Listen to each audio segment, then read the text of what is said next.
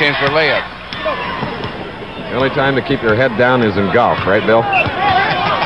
Not the way I play it. That was some move there. Walt Frazier. Now he beats Chenier.